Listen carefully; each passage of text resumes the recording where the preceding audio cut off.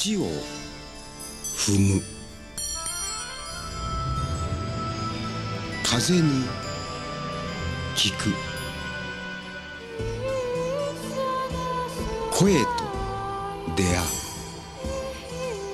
う。そして遥かな時を見る。今日本という国を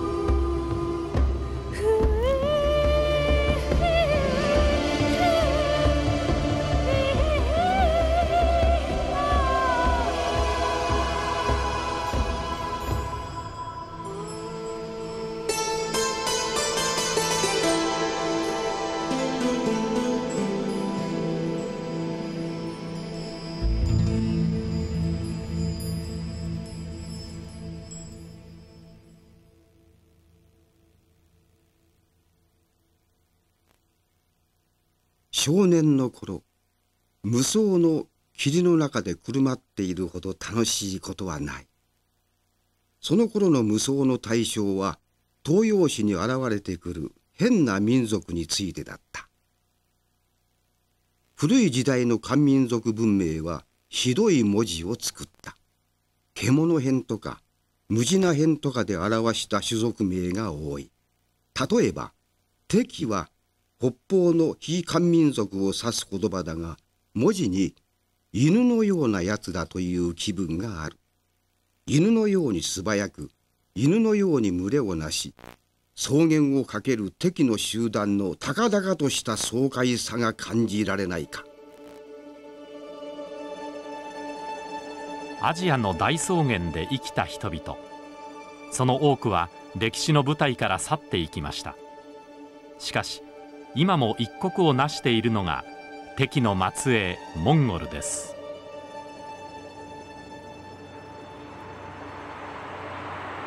1973年日本とモンゴル人民共和国との国交が成立した翌年司馬遼太郎はモンゴルへと旅立ちました。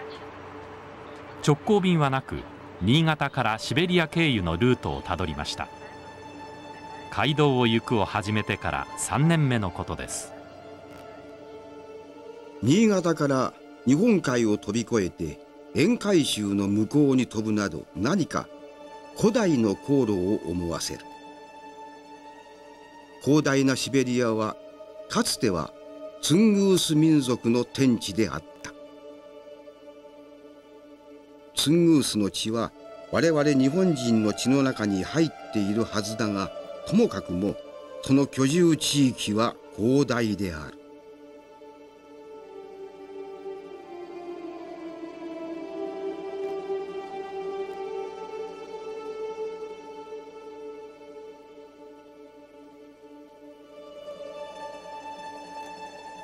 これは当然なことだがシベリアが元からロシア人のものであったという事実はない。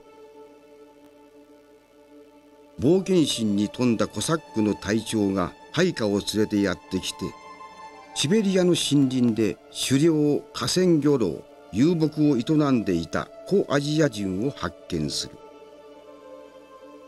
アジア人はヨーロッパ人に発見される前には存在しなかったような印象がある。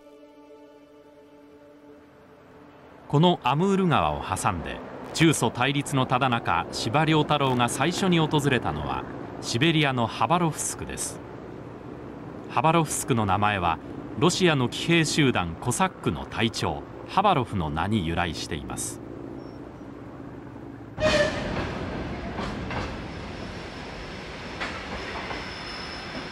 ハバロフは350年ほど前にこの地方に遠征し先住民の村々を征服しました。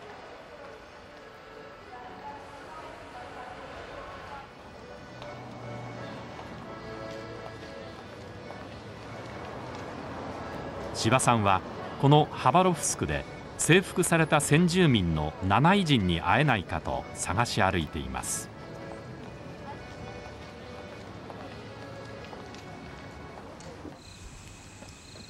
柴さんが会いたかった七イ人は漁労に長けたツングース系の民族です。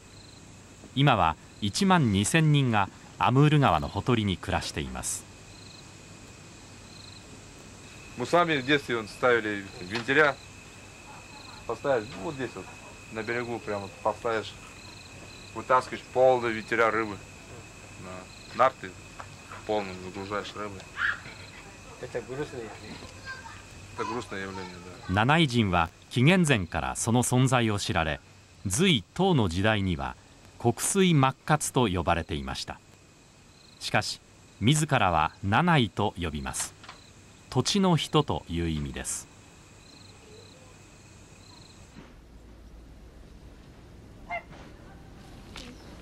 広大なシベリアがどのようにしてロシアになったのか。350年前ブリヤートモンゴルを襲った悲劇を司馬遼太郎は記しています。1641年。コサックたちはブリヤートの一小国に着いた。その小国の高校はチェプチュグイという人物でその天幕軍はロシア人たちの不意打ちを受け男子30人が殺され女子供28人が捕虜になった。チェプチグイとその配下は降伏勧告には応じなかった。それどころかコサックよ世は生きては汝の手に落ちざるべしと言い送った。チェプチグイとその一族部族は全滅し死体は天幕もろとも焼かれた。世界史はこれら弱小未開の高貴な精神を記憶しなかった。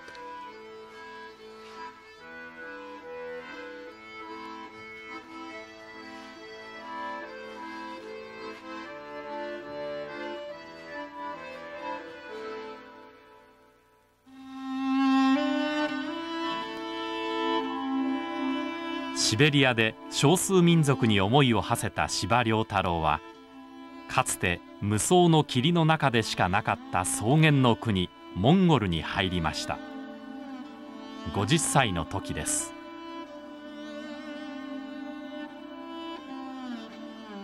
すでに国境を越えたろう。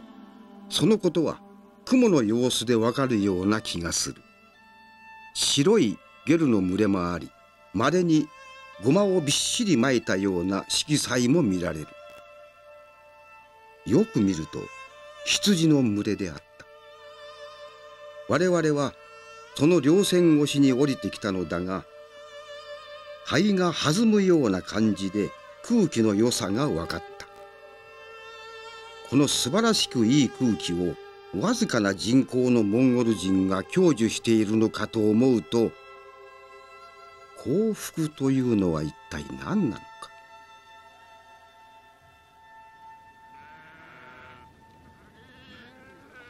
標高1351メートル。草原に浮かぶ町。首都ウランバートルです。モンゴルは中国の清朝に200年にわたって支配されました。その後1924年旧ソビエトの後押しで世界で2番目の社会主義国となりました。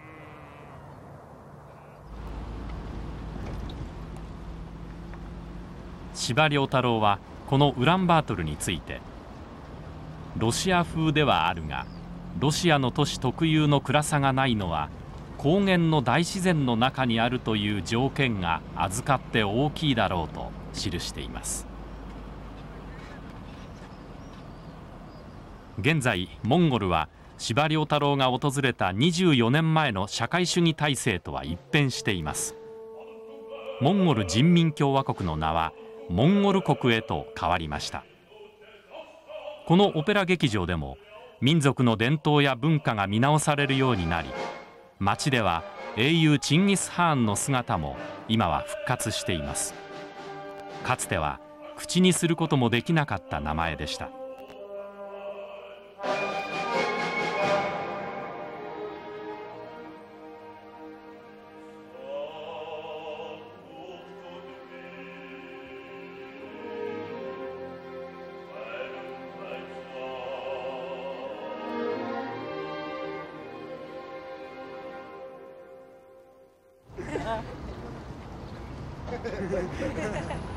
モンゴルの人口は今235万人。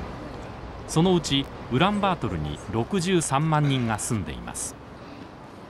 草原の民は次第に町に集まるようになっています。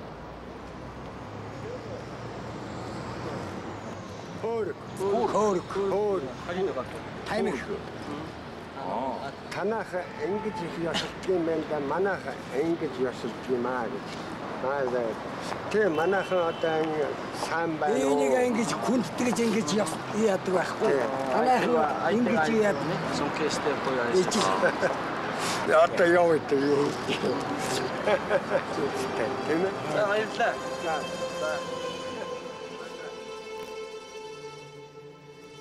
モンゴル気候の中で司馬太郎と重要な出会いをした女性が今もこの町に住んでいます。通訳のツェベクマさんです。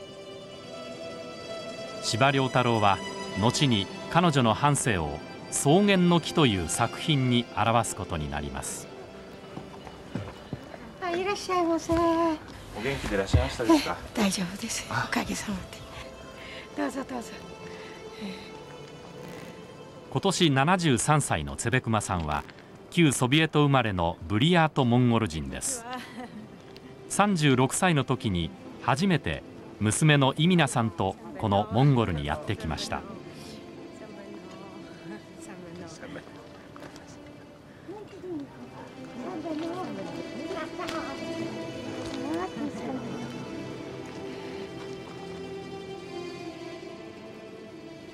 昔の人はこれでお茶をして飲んでました。ずっと前から。これはビタミンがあのリモンと同じぐらいのビタミンがある。リモンの次モンゴル茶の中に入れるととっても美味しいお茶ができる。この国では私が案内することになっています。彼女の第一声はそういう具合だった。柔らかい笑顔の割には口調が明晰で心地よかった。セベクマさんは何年生まれですか？大正13年です。彼女は呼吸のように自然な日本語を使いつつしかも日本を訪ねたことはない。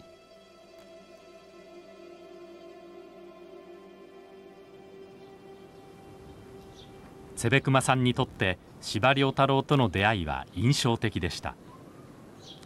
司馬先生はあのやっぱり大自然は人に必要。モンゴルの生活の根本的経済的のことが変わっちゃうとモンゴルの心が変わると。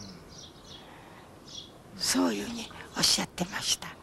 それをこうずっと考えるとねあんまり現代しすぎたらモンゴルがこの自然と一緒にこう生活してる生活が変わっちゃうんじゃないかということをだいぶ心配してましたよ。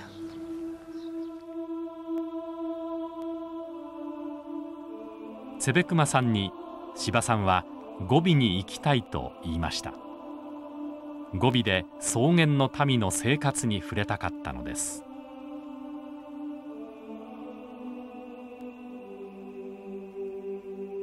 窓から下を覗いていてモンゴル語でいう半外玉藻地帯が終わり赤い鉄サビ色の大地が出現した時である。これがゴビ砂漠か。何度も自問した。火星の指標と言われてもあるいはそうかと思えるほどの凄みがある。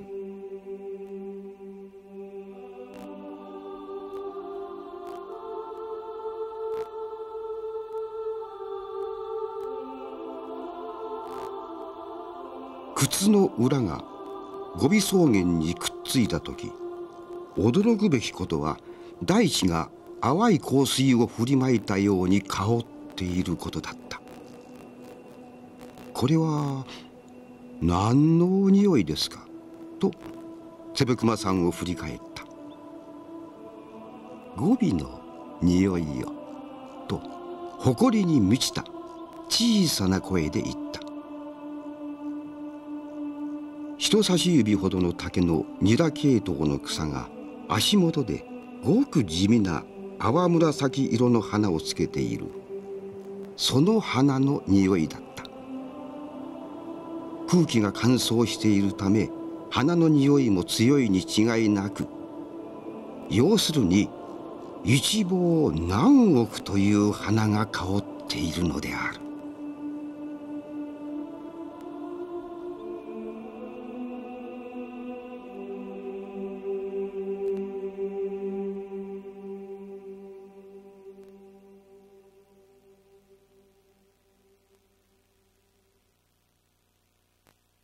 遥かな古代。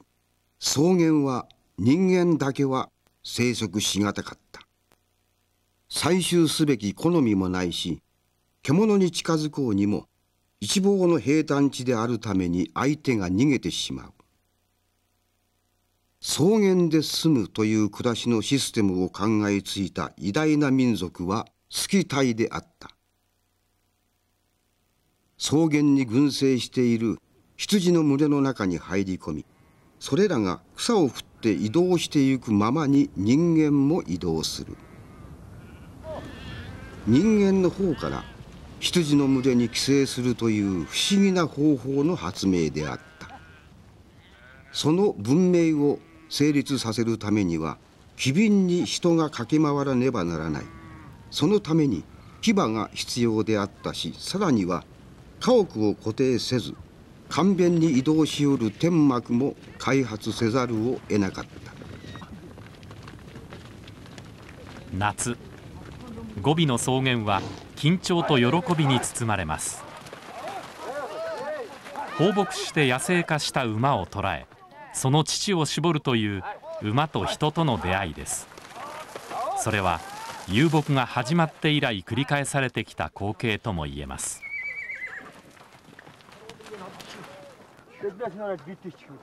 その年2歳になった馬は初めて人間を乗せ自分の主人が決められます。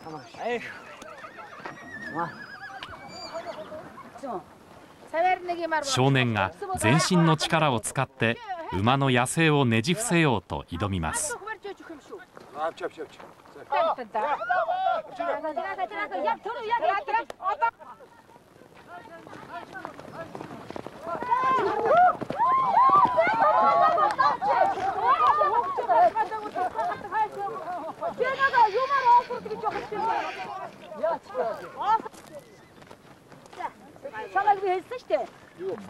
語尾の硬い大地に叩きつけられた少年。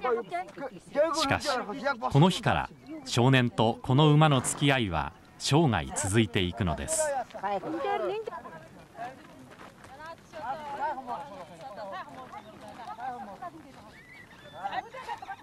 モンゴル人は馬の上で育つと言われます。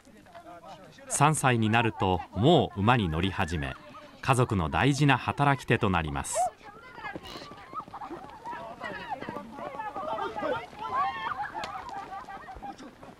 語尾で飼われる家畜の数は一家族でおよそ800頭が限界です。それ以上増やそうとすると世話が行き届かなくなり家畜は痩せかえってその数を失うことになるからです。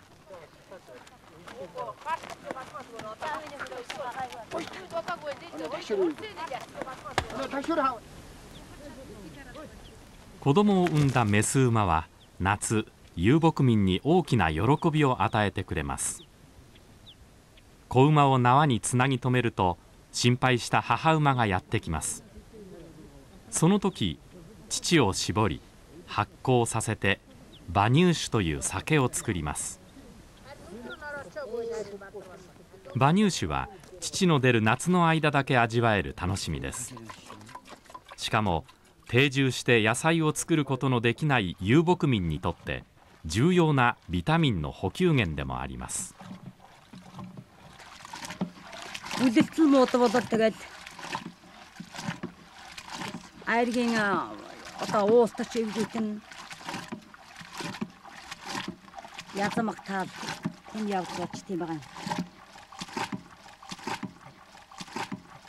草原の草は家畜を通じて酒にもなり肉にもなりさらに燃料にもなります馬や羊たちが草原でする糞はすぐに乾燥ししかもよく燃えるのです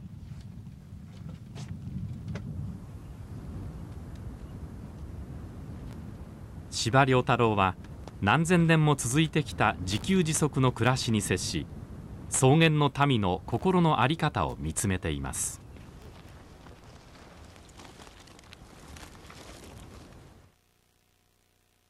遊牧民は古来物を蓄えない。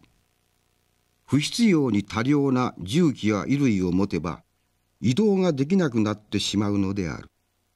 このような類世の慣習のために大抵のモンゴル人は物を欲しがる心がそぎ落とされていて欲望少なく生きている。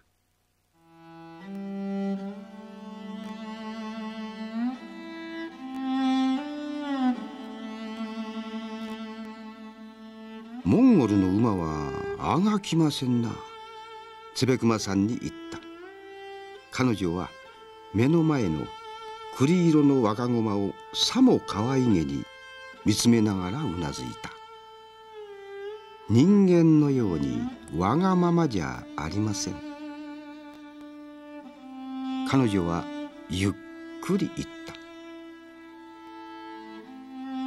たあんなにじっとしていて何を考えているのでしょう。子供の頃に遊んだ草原の匂いなどを思い出しているんです。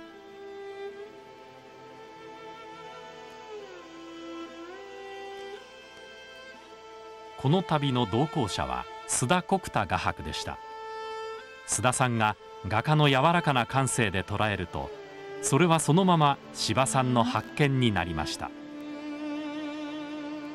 須田さんの黒い影が顎を上げて天の川を見上げている。夏のあらゆる星座が我々に挑みかかるようにして出ている。この星の凄まじさはどうであろう。無数の星が瞬きもしないのである。何千万もの光点が金属音を立てるようにして光っている。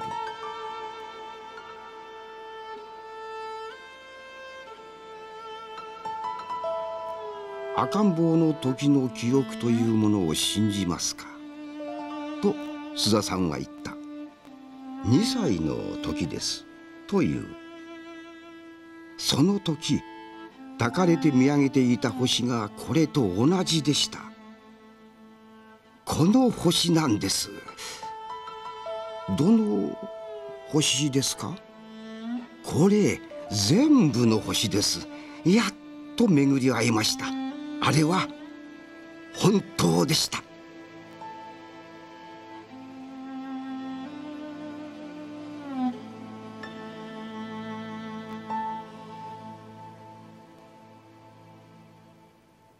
明け方になってゲルの観音開きの木製扉がどんどんなった。朝日が昇っています。須田画伯が息を弾ませてそう言った。これだけはご覧にならないといけませんと言ってくれた。ほんの30秒前までは真紅の光の矢が濃紺の天を縦横に駆け巡ってものすごいほどの景観だったという。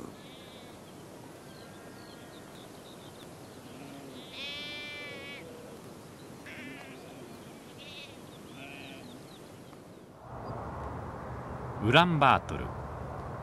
遊牧民と触れ合った司馬遼太郎はこの国が直面してきた現実にも目を向けます。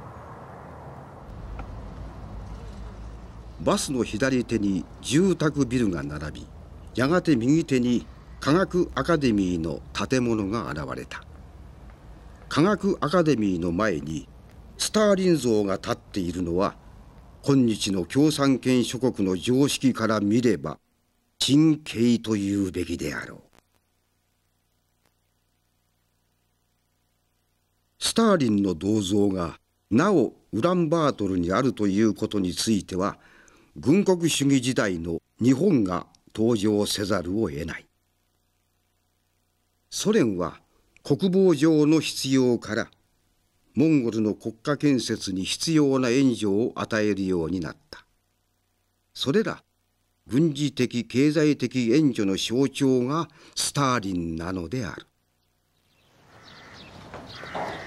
24年前に司馬遼太郎が見たスターリン像は現在は国立図書館となった建物の裏庭の木箱にしまわれていました。7年前民主化運動により撤去されたのです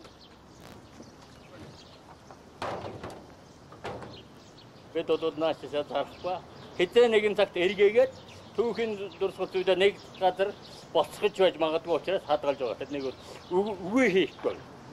Баянга хадгалж байна нэрээс. Манай харуул хамгаалт гэсэн нэрээс давхар одоо энэ хянал тавьж харж байдаг юм. Энийг гэдэг.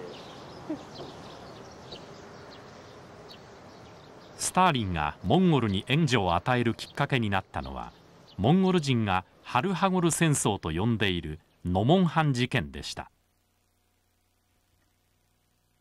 ノモンハン事件はそういう意味からもモンゴル人民共和国にとって重大な歴史であった。公式的にはモンゴル人は今もハルハゴル戦争を忘れていないとしている。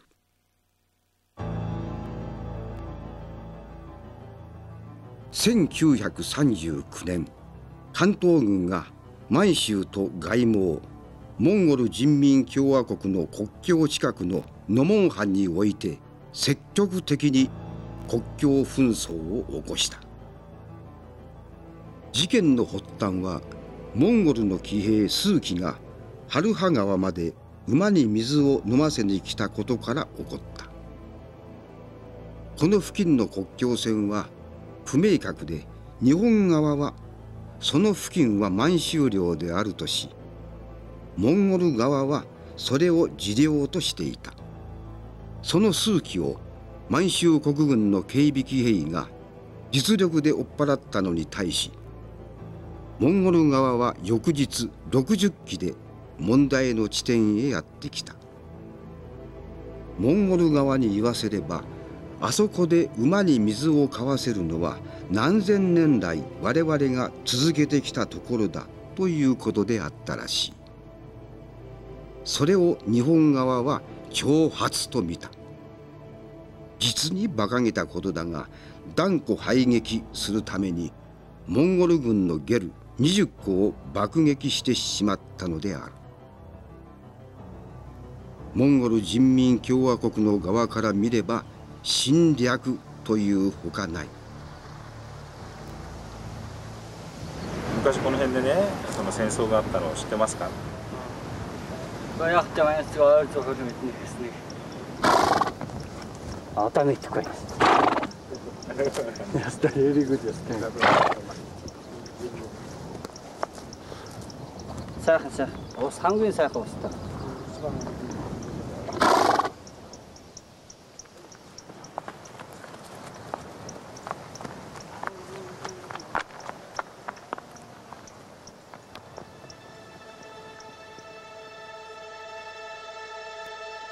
戦争から58年。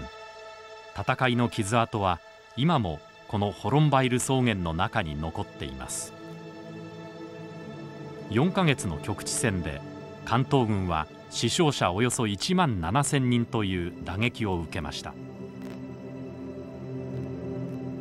モンゴルとの国境紛争だと考えていた関東軍に対してスターリンはモンゴルの後ろ盾となり膨大な機械化兵力を注ぎ込んだのです。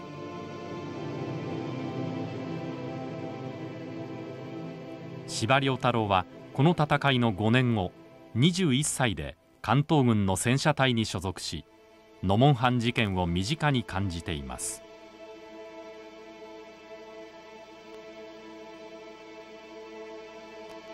このホロンバイル草原からも多くの遊牧民が戦いに加わりました。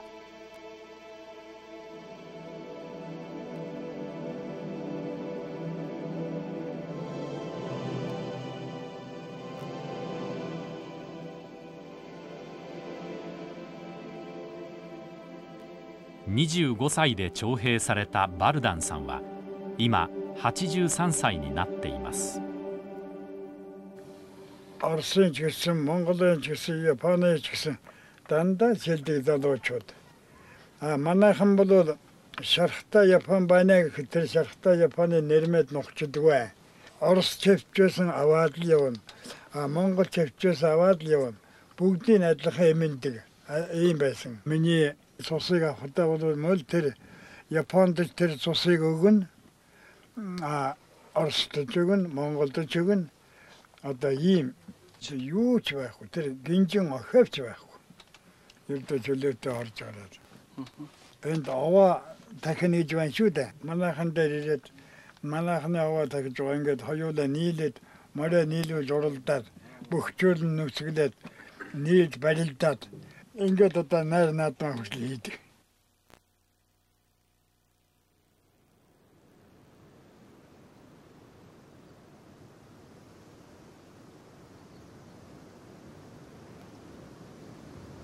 バルダンさんの親戚やかつての遊牧の仲間は鉄条網の向こう側今は中国領になったホロンバイル草原に住んでいます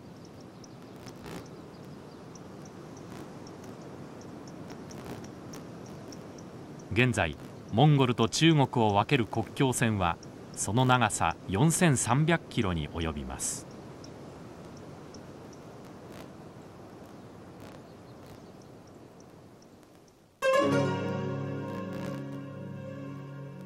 モンゴルの中央部のアルハン街。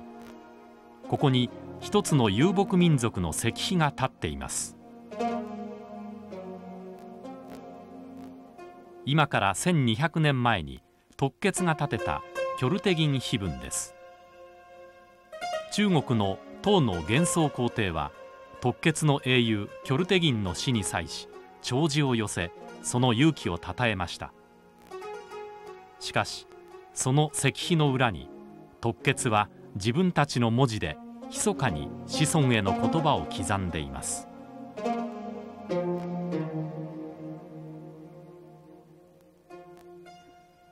この地より良い場所は他にない。漢民族の甘い言葉や柔らかい絹に惑わされてはいけない。この地を離れずに生きよ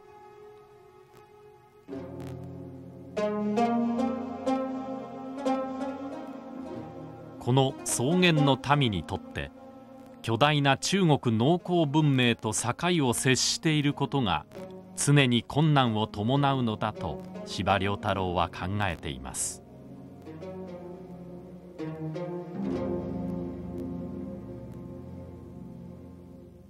東アジア史は騎馬民族と農耕民族の構想の歴史として捉えることができる。遊牧民は草原の土を掘ることを極度に嫌がった。草原は動物のように生きた皮で覆われている。その皮は薄くしかも硬く。それによって氷土の下の土壌が風に吹き飛ぶことから守られてきた。農民にはそういう頓着はなく桑で一撃してその氷土を粉砕してしまうひとたび氷土が吹き飛ばされれば二度と草原は戻らないのである。農民が土を耕すことは天の喜ぶところとされる。遊牧民の天はそれを悪としてきた。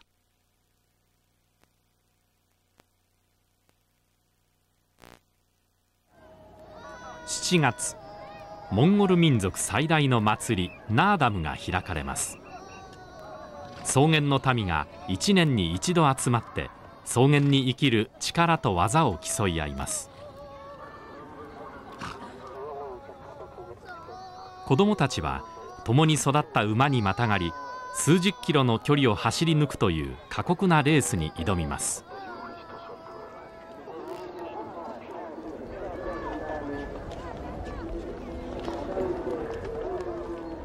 セベクマさんは毎年この少年たちの姿を見ることを楽しみにしています。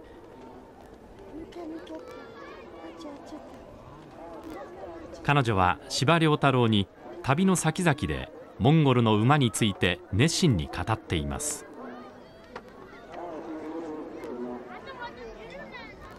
馬は宝。人の友。だからモンゴルには馬は大切です。で馬はモンゴル馬がねよそに飼われていくでしょ。飼われていっても帰ってくる。こういう事実があります。だから馬っていうものはゴビの馬は半外にいられない。ゴビに帰っちゃう。自分のあのやっぱりいた故郷っていうかね。そのいたそのところに帰ってしまう。だから馬っていうものはねすごいです。だから馬によって人のように人の性質のように馬が変わってる。変わってる。だからこういう競馬に来る馬はもうその競馬の時にはもう本当にこう走りますねもう本当に一生かけして走るから。馬が。馬が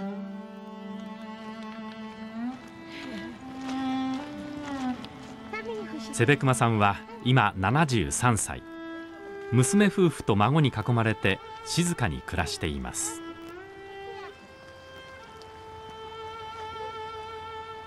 司馬遼太郎はモンゴルの旅の中で聞いたセベクマさんの半生に深い共感を覚え草原の民がたどらざるを得なかった命運を見ています。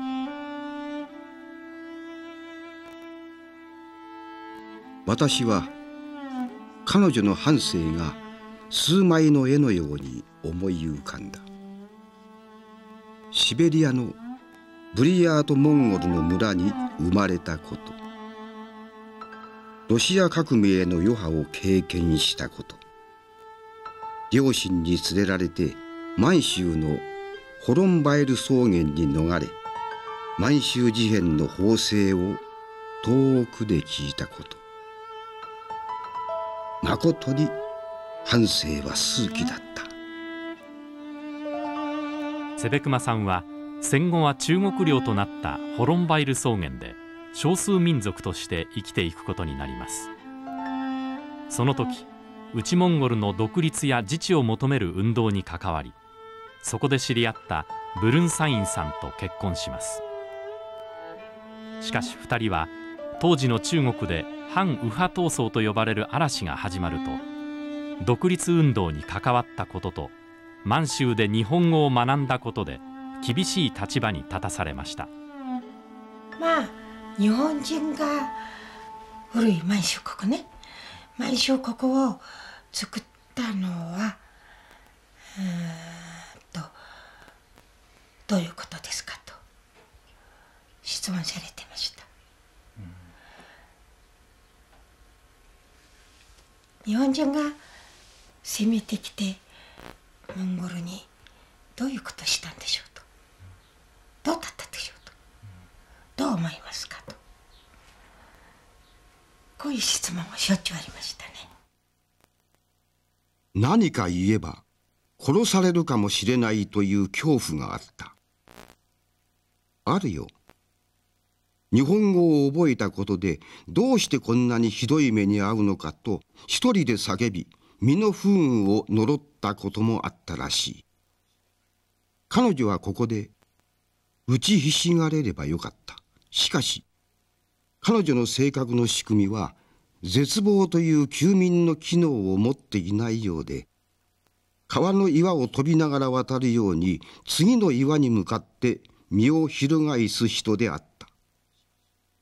詩的に言えば騎馬民族の末裔としか言いようがない。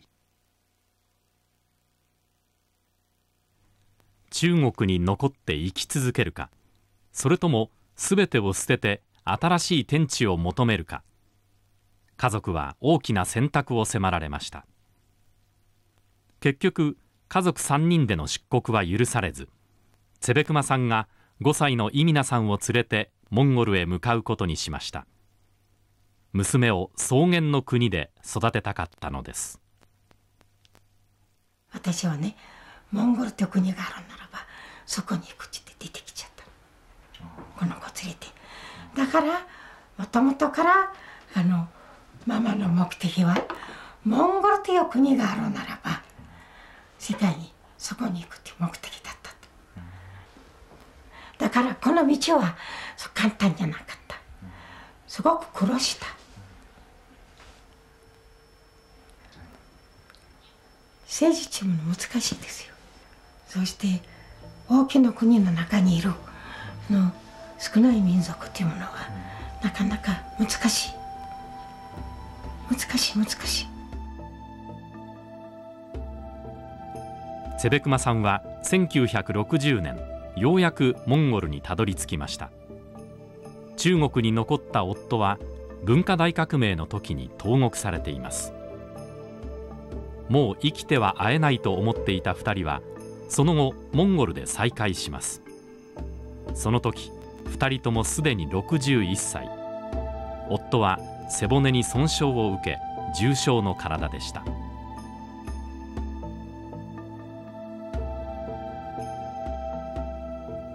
1985年1月は寒かった。26年ぶりの再会だった。この時セベクマさんは夫は自分のもとで死ぬためにここまで来たと気づいた。ブルンサインはその後数ヶ月生きた。息を引き取ったのはセベクマさんの腕の中だった。という。悪く生きるよりもよく死ねということわざがモンゴルにあります。夫の生涯を振り返ってそのことわざ通りだったと思っています。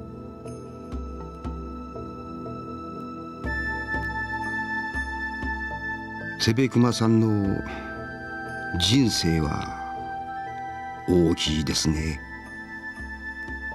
と私が言うと彼女は切り返すように答えた。私のは希望だけの人生です。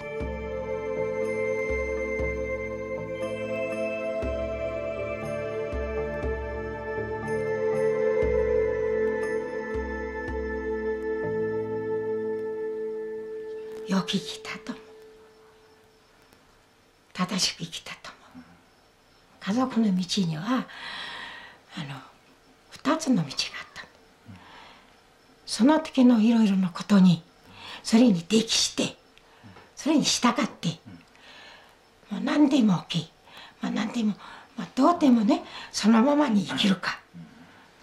生きてさえればどういうことでもやってどうでもいい。どういうことでも言われたら「はい」っつってねその時に生きていくか。それともそのそれそれをえ直してモンゴル人はモンゴル人の生き方をするか。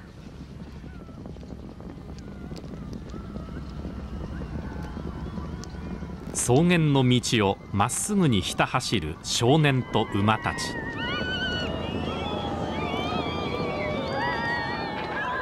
広大な草原を彼らだけの力で走らなければならないその過酷さ走り抜こうとするその意志。司馬遼太郎はこの少年たちとつべくまさんの半生に厳しくも自由な天地に生きてきた騎馬民族の姿を見ています。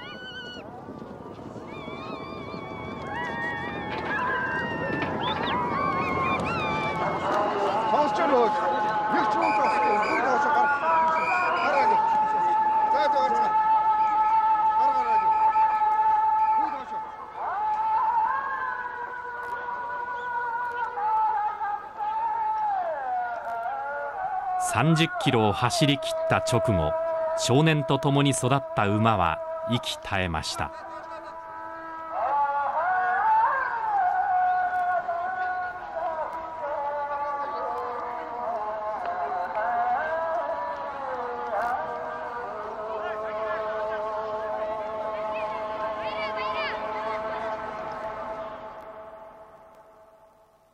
空想に付き合っていただきたい。モンゴル高原が天に近いということについてである。そこは空と草だけで出来上がっている。人影はまばらでその暮らしは天に住んでいるとしか思えない。少なくともはるか南の低地に広がる黄河農耕文明の人々から見れば同じ人の仲間とは思えなかったろう。しかも馬に直に乗っている。騎乗して風のようにかけ満月のように弓を引き絞り走りながら矢を放つ。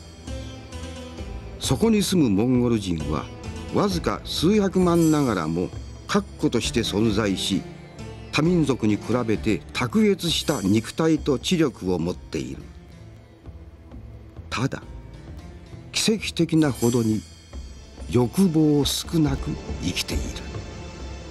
その欲望の少なさについて的確に説明しにくいがかねがね彼らの存在そのものが死であると私は思ってきた。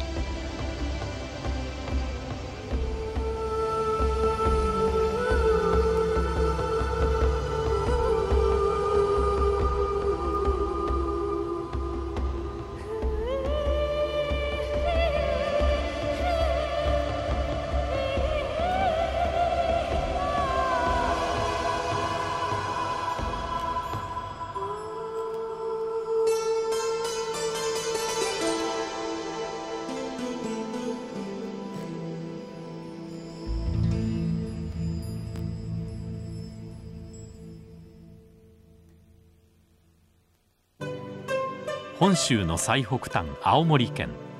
山瀬という強い季節風が吹きしばしば毛勝ちと呼ばれる飢饉が襲いかかる北の大地。そのような厳しい風土を司馬太郎はあえてまほろば豊かな場所と称えました。